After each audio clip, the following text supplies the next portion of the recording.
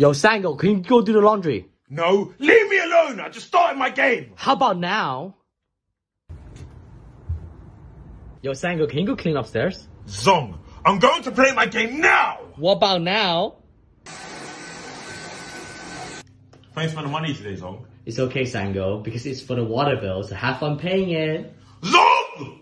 But why? Don't forget to subscribe for more funny videos.